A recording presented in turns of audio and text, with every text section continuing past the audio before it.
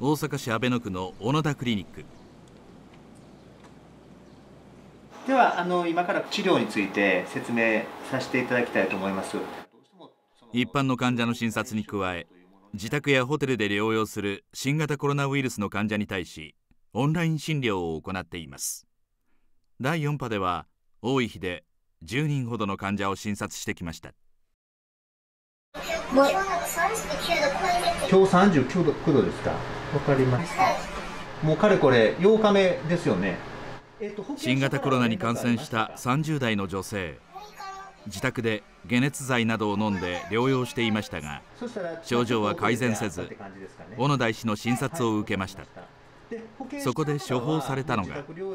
あのイベルメクチンっていう薬ってご存知ですかね？ウイルスが増殖していく中であのいわゆるコピーペーストみたいなしていくんですけどもそれをもうどんどんどんどんさせない。イベルメクチンは6年前ノーベル賞を受賞した大村聡さんたちによって開発された抗寄生虫薬で新型コロナの治療にも効果があるという報告があります。第4波では自宅療養者の数が一時1万8000人以上になりましたが軽症者に処方できるコロナの承認薬はなく市販の解熱剤を飲んでしのぐ人も少なくなかったといいます。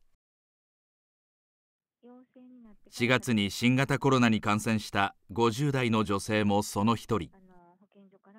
カロナールを飲んでたんですけれどもあまり熱が下がらなくてしんどくて食べれなくて眠れなくてっていうので不安になってオンライン診療申し込んだ感じですね。女性は小野田クリニックで診察を受けイベルメクチンを処方されました。劇的に収まりました。夜に飲んで12時ぐらいですかね。朝まで眠れました。で朝起きた時に熱を測ったらだいぶ熱も下がってましたね。しかしイベルメクチンはコロナの治療薬としては承認されていません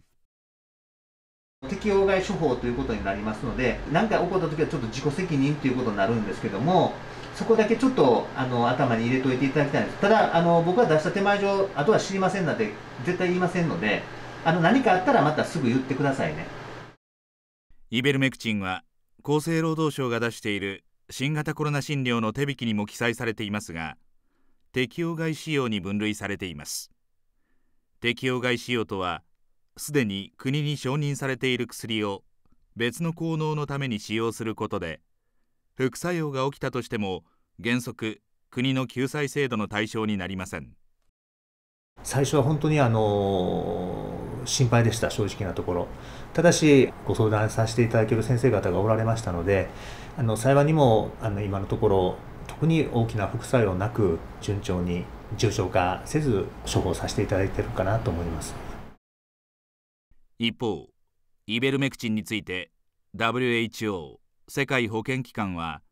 証拠が非常に不確実で臨床試験の範囲以外では使用を推奨しないとしているほか大阪府医師会の重松会長も慎重な姿勢を見せています。軽症の時に与えたらいいというのは聞いてますがただ海外の文献見るとやっぱりあんまり適してないという文献もありますのでねやっぱりそこはちょっと考えて効果については賛否がある中北里大学病院では医師による治験が行われています。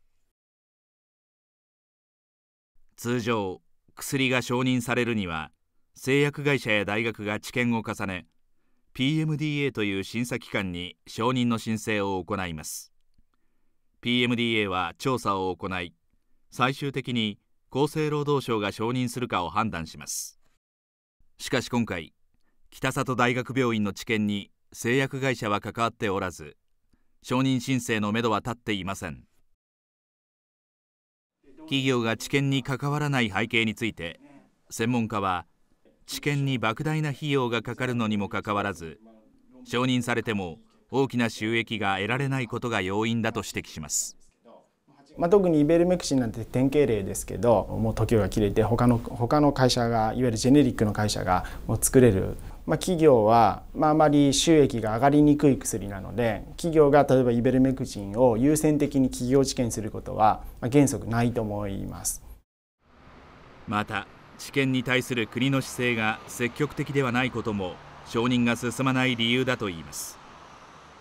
現状、まあ、日本の医薬行政については基本的に受け身会社が承認をしてきて初めて審査をしましょうという段階です企業と病院と行政がタッグを組んで治験を加速していこうというようなシステムがあればいいんですが日本はそういう行政の協力がほとんどないわけです。